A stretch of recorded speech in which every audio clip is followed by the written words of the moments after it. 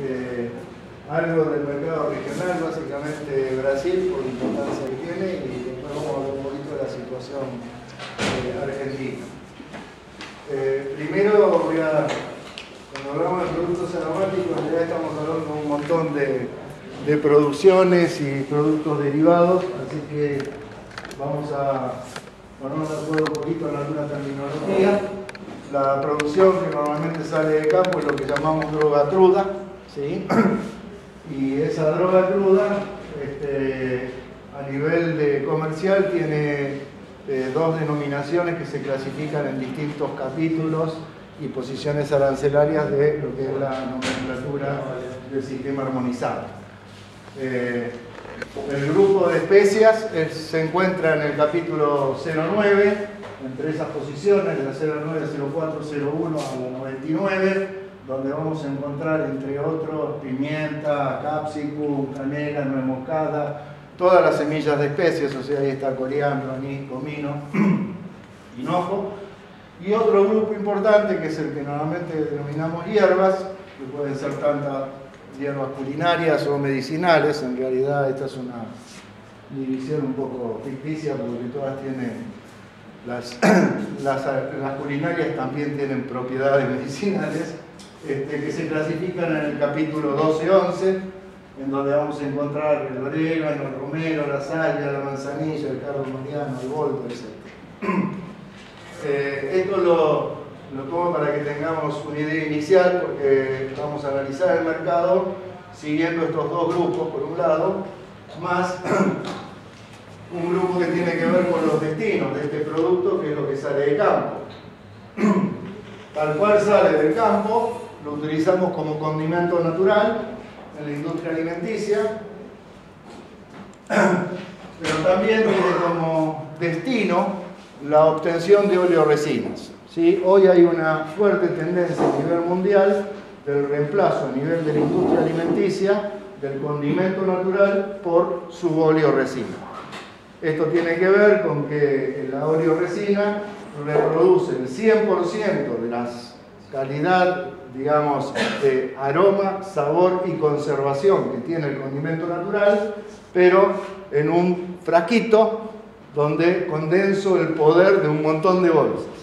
En ese frasquito tiene una serie de ventajas, obviamente, no solo en la dispersión dentro de la masa alimenticia, al ser un producto oleoso, que no es lo mismo que distribuir un sólido, pero sino también que tiene mejora las propiedades de conservación, eso está tapado, ¿sí? no hay contaminaciones, eh, mejora la situación de, obviamente, de estivaje, de, espacio para almacenaje y también disminuye los costos, obviamente, de flete.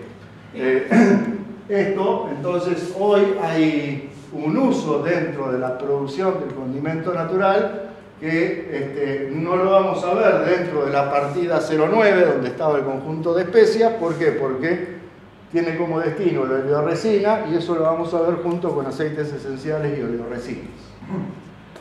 ¿Se entendió esto o no? ¿Eh? Bueno, después otra, otro destino es la producción de aceites esenciales. Esa producción de aceites esenciales tiene no solo destino en la industria alimenticia, sino también en perfumería, en cosmética, en todo lo que es artículos de limpieza y aromaterapia. Y por el otro lado, las hierbas medicinales también las puedo utilizar como droga cruda, esto es a través de las herboristerías, lo que son las, las tisanas, pero también puedo estar haciendo un extracto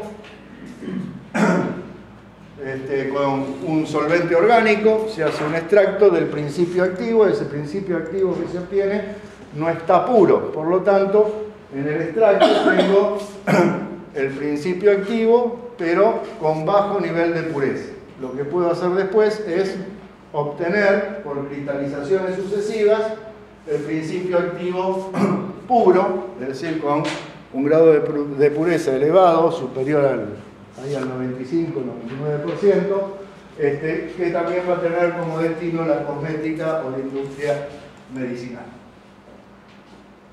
Obvio de dar ejemplos para no llevar mucho tiempo. Entonces ahora vamos con el primer grupo, que son las especies. Bueno, eh, las especies, el consumo en cada país depende de estos cuatro elementos. Obviamente la magnitud de la población, el ingreso promedio que tenga esa población, las costumbres culinarias y sociales, no es lo mismo las costumbres culinarias que hay en Argentina, que las que hay en Francia, que las que hay en la India o que las que hay en México. Hay países que tienen un enorme consumo per cápita de condimentos y una enorme variedad cuando otros países tienen un espectro muy reducido. ¿sí? Sobre todo los países occidentales tenían un espectro muy reducido de condimentos utilizados. Y por último, el estado de la economía. Obviamente, los procesos recesivos para la mayoría de los productos generan retracciones y los, los procesos de expansión de la economía mundial este, incrementos. Esta es la evolución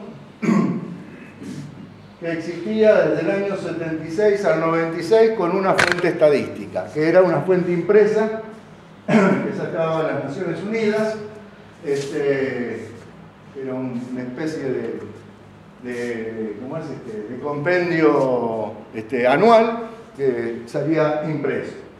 Si ustedes se fijan aquí, eh, la tasa de crecimiento es una tasa importantísima. Estamos hablando de que en promedio en todos esos años, este, si uno trazara una línea de regresión aquí, es decir, que marcase esa tendencia, lo que estamos diciendo es que de un año al otro, sobre esa línea, está creciendo un 7,8% anual este, las importaciones mundiales de especies.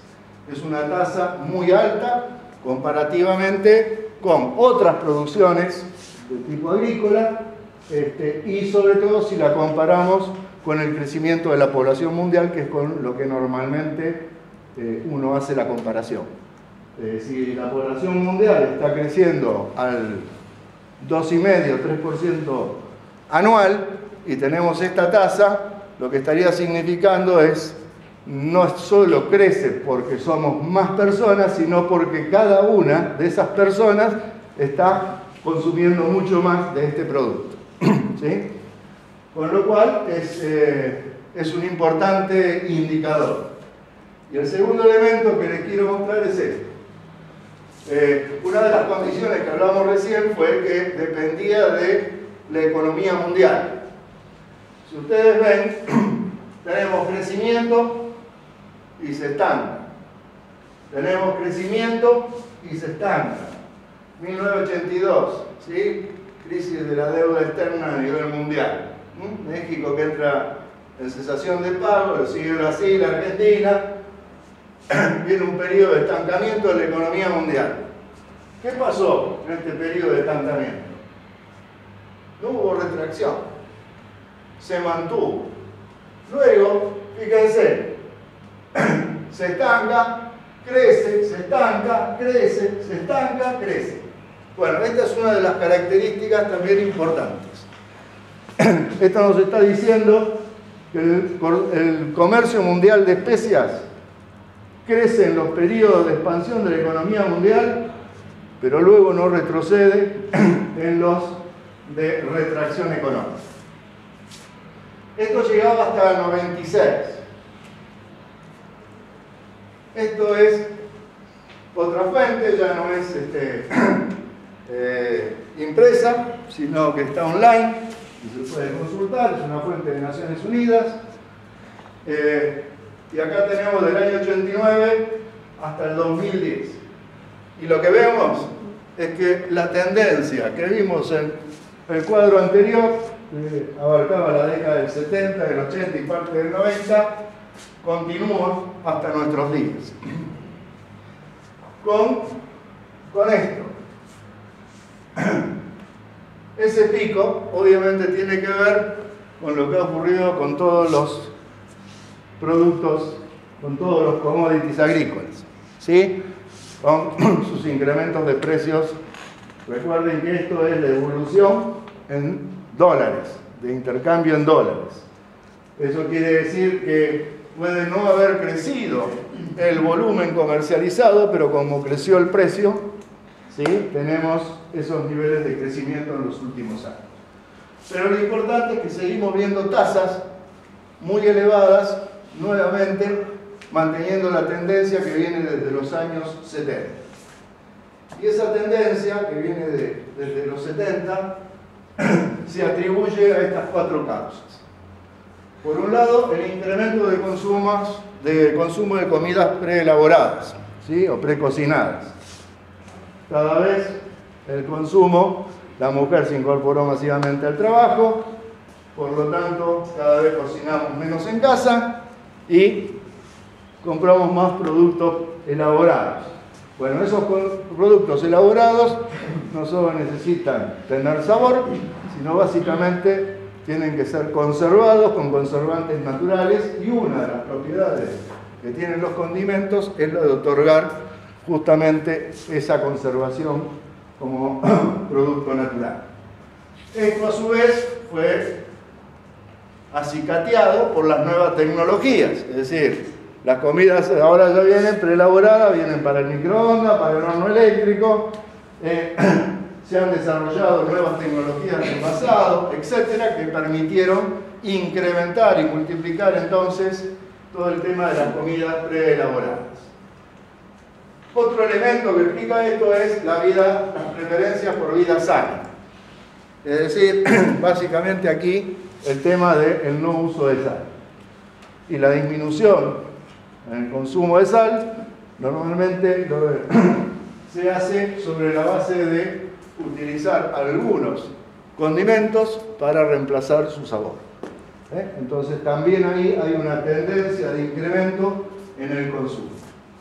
Y el último, que parece una tontería, pero no lo es, es el consumo, el, el incremento de las comidas étnicas. Y esto tiene que ver con algunas migraciones, básicamente de países que tenían un alto consumo de especias y condimentos cuando fueron a países este, occidentales. Estamos hablando, por ejemplo, de la migración mexicana a Estados Unidos y de las migraciones del sudeste asiático y de los países árabes hacia Europa y del sudeste asiático también hacia Estados Unidos.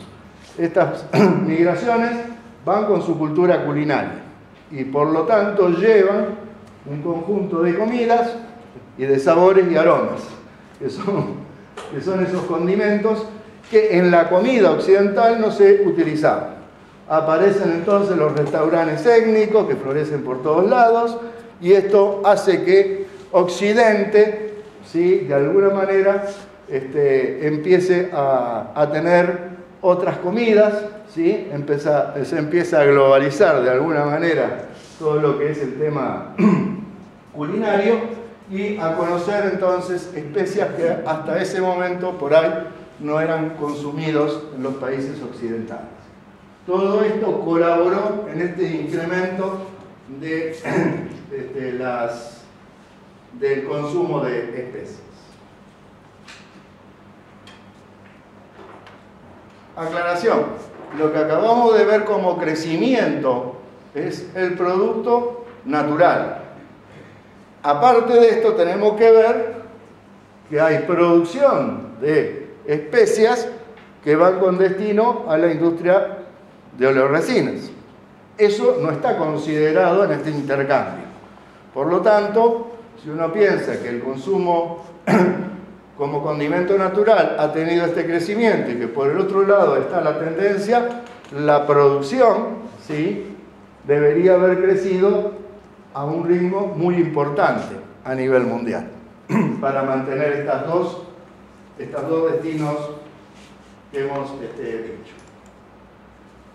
Bueno, esto nos muestra cuáles son las principales especies comercializadas a, nivel mundial.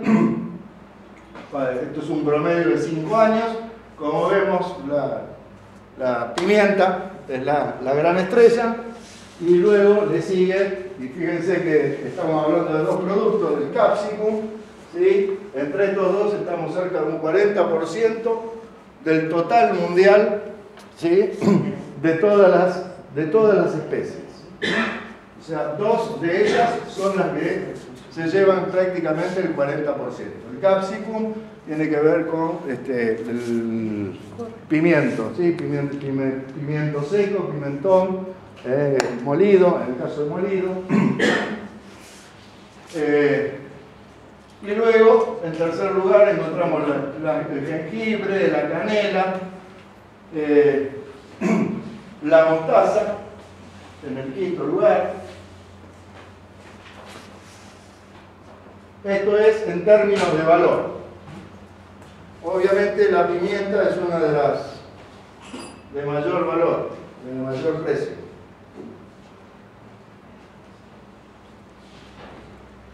Principales importadores. Bueno, obviamente no es de extrañar que los principales tres importadores sean las tres principales economías industrializadas del mundo. Estados Unidos, que tiene cerca de un 16%, Alemania y Japón. Países Bajos, cuarto lugar. Los Países Bajos están ahí no porque tienen una enorme población y una enorme industria de alimentos, sino porque son la puerta de entrada para el resto de Europa. O sea que lo que vamos a ver es luego, cuando veamos los exportadores, también van a aparecer los Países Bajos por esta labor de ingreso y reexportación. Reino Unido, Malasia. Malasia es uno de los principales, por ejemplo, hoy se hablaba acá, es el principal importador de coriandro del mundo. Este, y ya vamos a ver también, en un pico de exportación de Argentina, llegamos por primera vez con algo de coriandro argentino a, a Malasia. Los Emiratos actúan como un centro comercial para todo lo que es Medio Oriente. Y me voy a España, porque si hay algún país europeo del que uno dice, cuando piensa en condimentos, es España, justamente. Pensamos en el azafrán español, en el anís español, en el tomillo español. Bueno, sin embargo ahí está como décimo importador mundial. ¿Con qué tiene que ver que España esté ahí? Primero porque ya no es más el productor de azafrán que era, sino que ahora es un reexportador de azafrán iraní que hoy Irán es el principal productor de azafrán del mundo. Eh, queda todavía algo de producción en España, pero estamos hablando de más de 100.000 hectáreas en, el caso de Irán contra 4.000 que deben haber en España. Eh, por lo tanto, lo que está marcando ahí que España importa, eh, importa de Irán y luego lo vamos a ver como exportador porque lo reporta. Y hay otro elemento clave. España ha puesto hace unos años una planta de obtención de oleoresina de pimentón. Obviamente, las plantas de obtención de oleoresina son complejos importantes con una gran escala. ¿sí? Para que nos hagamos una idea, son semejantes en tamaño a lo que sería una planta de producción de aceite de soja. Por lo tanto, es obvio que en una parte del año tiene su propia producción de pimiento con destino a la obtención de oleoresina. Pero para que esa planta funcione, hay que darle de comer todo el año, entonces tiene que importar. Y el otro gran rubro de importación que hace que España esté ahí es la importación de capsicum, ya sea deshidratado entero, partido o incluso como pimentón, para la obtención de oleoresina.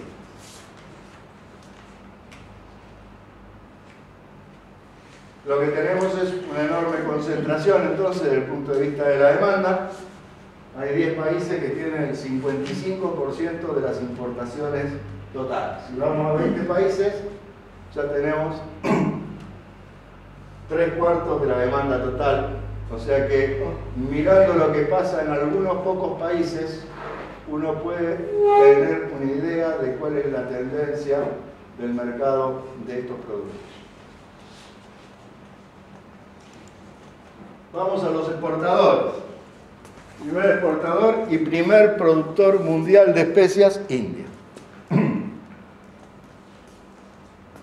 Y para que se den una idea, apenas el 28% de su producción es lo que se exporta. Y es el primer exportador y el primer productor. O sea que el consumo interno que tiene India es impresionante. Es decir, una pequeña parte ¿sí? de su producción es lo que exporta y eso le permite ser el primer exportador mundial. Bueno, China, China y Vietnam, ¿sí? que hasta hace unos años no aparecieron. ¿sí? Este, hoy son grandes productores y exportadores de, de peces. Indonesia, y ahí tenemos el papel de los Países Bajos, Guatemala, sí, clave en la producción de cardamomo, eh, Alemania son exportaciones y tenemos a nuestros vecinos, Brasil, productor de pimienta. ¿sí? Ahí está España, que es lo que decíamos, después exporta, aparece con sus productos, pero básicamente con exportaciones de, azafrán y de tomillo de Marruecos también. O sea, tampoco tiene producción de... Bueno, y aquí también tenemos concentración. 10 países concentran el 66% de las exportaciones.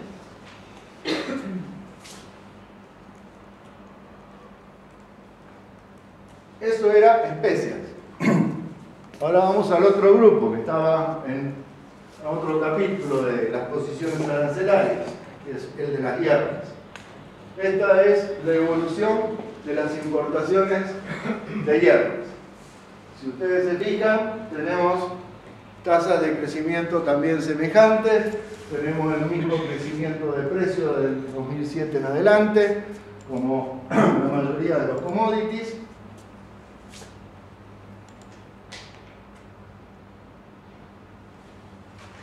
los principales países importadores. ¿sí? Acá aparecen algunas cuestiones como estas, por ejemplo, Hong Kong y República de Corea, que tiene que ver que son centros importantes de comercialización de hierbas medicinales, que tiene que ver con su medicina natural. Volvemos a tener un grado importante de concentración, 10 países el 58% de la demanda. Aquí tenemos los exportadores mundiales. Si ustedes ven, acá aparece de vuelta Hong Kong, que es un centro comercial importante. Los demás países, bueno, ahí está Corea también, y los demás países importadores, aquí también tenemos importantes concentraciones, ¿sí? 75% en 10 países. Argentina aquí ocupa el puesto 37. ¿Por qué producto? ¿Eh? ¿No? Manzanilla. Manzanilla. ¿eh? Argentina es uno de los principales, en algún momento fue el primer exportador de manzanilla del mundo, hoy no lo tengo comprobado, pero sí volvimos a ser uno de los principales productores y exportadores, y por eso estamos en el cuento 37, pero muy lejos, obviamente, de todo lo demás. Lamentablemente, a nivel de hierbas, la apertura que existe ¿sí? es muy poca. O sea, hay cuatro o cinco productos que tienen posición propia y todo lo demás está dentro de una posición bolsa que es las demás.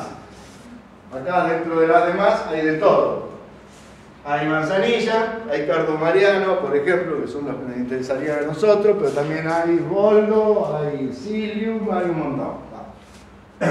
Lamentablemente eso, a nivel de estadísticas mundiales, no tiene más que este grado de apertura. Por eso no nos sirve de mucho esa información cuando queremos conocer el mercado específico de alguna de las hierbas en particular. Y ahora vamos a la parte de esencias, de aceites esenciales y oleoresinas, donde también tenemos una importante evolución del mercado mundial, con tasas de crecimiento también elevadas, del 6,8 para la primera década y un 7,9 en la última.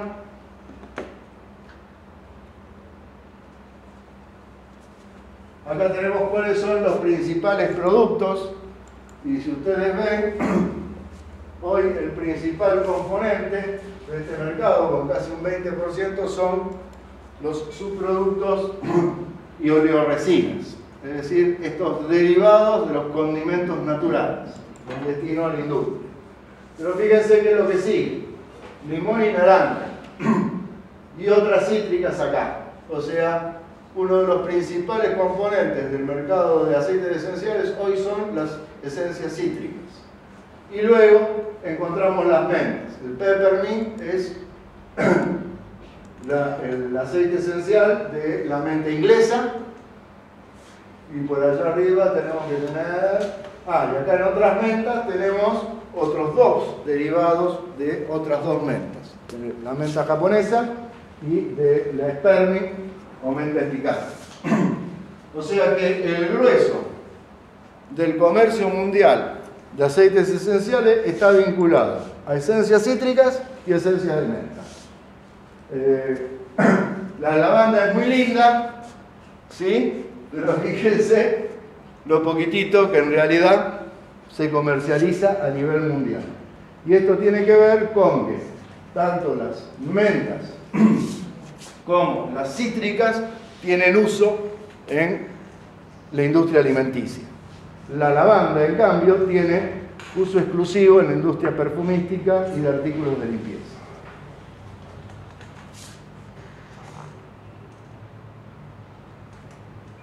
Bueno, lo decíamos recién, el 40% responde a los cítricos y las mentas. Aquí tenemos los principales países importadores bueno, acá tenemos nuevamente, ¿sí? encontramos las principales economías desarrolladas, asiento de la industria alimenticia y también de las industrias perfumísticas globalizadas. Diez países concentran el 69% de las importaciones. En el caso de los exportadores, encontramos países como Estados Unidos, en el caso de las esencias se hacen correctivos sobre la esencia natural. Hay un patrón establecido. Si la esencia natural, que es un conjunto de componentes químicos, en algún componente está deficitario, ¿sí? se le hace el agregado hasta llevarlo a un estándar de tal manera que esa esencia quede estandarizada. ¿sí? Entonces, esto lo hacen muchas industrias de Estados Unidos y de Francia, pero Estados Unidos es uno de los principales productores de aceite esencial de menta. La India hoy es un importante productor también de aceite esencial de menta. Ahora fíjense, séptimo lugar, Argentina. Bien, esto tiene que ver con que Argentina ocupa ese séptimo lugar porque es el primer exportador de aceite esencial de limón. ¿Nos propusimos ser exportadores de aceite esencial de limón? No. Lo que nos propusimos fue, en su momento, ser el primer exportador o un gran exportador de limón en fresco. Al lograr eso, nos quedó todo una gran producción que tiene que ir a, a la industria de jugo.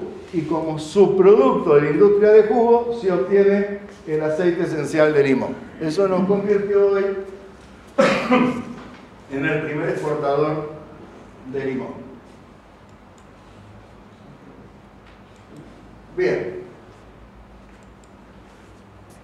Hasta aquí lo que vemos es las tendencias y lo que está ocurriendo en el mercado mundial. Decimos que es auspicioso porque estamos teniendo un crecimiento importante con tasas bastante significativas, no normales para otros productos que pueden considerarse commodities. Brasil. Brasil es el primer importador mundial, el primer importador de la región. ¿Sí? El más grande. ¿Qué ventajas y desventajas tenemos con ellos? En primer lugar, tenemos un alto grado de complementación. Brasil es productor de especias de clima tropical. ¿sí? Toda, casi toda, por no decir casi el 100%, de la pimienta que nosotros consumimos en la Argentina proviene de Brasil. Y Argentina es productor de clima templado. Por lo tanto, ahí tenemos una complementación. Pero a su vez, en el mercado con Brasil existen algunas ventajas competitivas. Algunas transitorias. Transitorias digo por qué, porque se basan en los acuerdos que podamos tener como países vecinos y en este caso integrantes del Mercosur.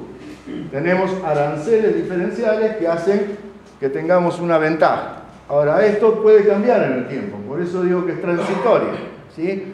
porque en algún momento pueden disminuir estos aranceles y que Argentina pase a tener el mismo arancel que tiene eh, una importación de, de India o de China. Pero lo que no va a desaparecer nunca y que es una ventaja competitiva tiene que ver con la cercanía de mercado. Somos vecinos. En estos productos lo que tenemos son productos de alto volumen y bajo peso. Es decir, una relación malísima para todo lo que sea flete. ¿Sí? Un camión, un chasis con acoplado completo de orégano lleva 8 toneladas de orégano, cuando podría llevar 30 toneladas de un grano. Bueno, eso implica que el flete tiene una enorme incidencia en el precio final. Entonces, no es lo mismo estar al lado, a 1000 kilómetros, ¿sí? o a 1500 kilómetros, que estar a 5000 kilómetros. Eso nos da una ventaja competitiva permanente sumada a la del Mercosur, a los acuerdos tarifarios sin duda, que mientras existan también colaboran en, favorecer. De ahí entonces la importancia de analizar Brasil como mercado. Esta es la evolución de las importaciones brasileras de especies, el primero de los grupos. Fíjense, en valor ha crecido el 7,2 producto de este incremento de precios. Esta línea blanca es la evolución de precios, ¿sí? promedio para todas las especies. Fíjense que se ha mantenido dentro de esta franja, salvo en los últimos cuatro años, donde se produce el incremento de, precio, de precios de todos los commodities. Esto es general y por eso hago una aclaración. Si yo tengo que decidir la producción de alguna de las aromáticas, yo no me voy a fijar en esto. Me tengo que fijar en esto. Esta es la franja común de oscilación de precios que ha tenido. Yo sé que esto molesta, pero es lo mismo. De pensar una soja a 500 dólares cuando lo histórico ¿sí? es 250. Eh, y no tengo la varita mágica para saber si algún día va a volver a 250 o se va a mantener en los 500. ¿sí? Pero si uno quiere resguardarse, tiene que saber que los precios históricos marcan alguna definición. Y si eso lo tomo como piso y para ese precio histórico mi producción es rentable, bueno, si después obtengo un precio que está al doble, celebro con champán. Pero lo que sí sé es que no me hago ilusiones ¿sí? con ese enorme precio que pueda estar este, hoy eh, circulando. Y más en este tipo de productos, donde el volumen es pequeño, comparado con un trigo, con una soja, con un maíz, y donde una pequeña variación de mil hectáreas o dos mil hectáreas ¿sí? genera una oferta que puede modificar drásticamente los precios. Eh, Estamos hablando entonces de un mercado de 30 millones. Y lo importante de esto es que analicemos esta composición. Esto es lo que importa Brasil en volumen promedio. Esto es rarísimo. Si uno analiza la mayoría de los países que importan, lo primero que va a encontrar es que el producto que más importa es la pimienta. Bueno, fíjense, obviamente son productores de pimienta, son productores de clavo, de jengibre, todos productos tropicales. Entonces su primer producto de importación es nada menos que el comino. Seguimos. Segundo, canela. No lo podemos hacer, es tropical. Pero después que viene, coriandro, clima templado. Comino clima templado. Coriandro, clima templado. Capsicum, clima templado anís, clima templado, mostaza, clima templado, hinojo, clima templado. Es decir, que sacando la canela y allá donde tenemos las demás, que habrá varios productos, prácticamente el 70% de lo que importa Brasil son aromáticas, son especias de clima templado. Todas posibles de producir en la Argentina, en distintas regiones, eh, muchas de ellas en la pampa húmeda, ¿sí? el hinojo, la mostaza, el, coriandro y el comín, eh, el son producciones claves de la pampa húmeda. Y yo diría que se puede producir en la pampa húmeda comino y se puede producir anís. Porque los problemas que tendríamos de humedad son los mismos que se generan en el norte del país por el tema del río. Sí, Ignacio. No estás tan convencido.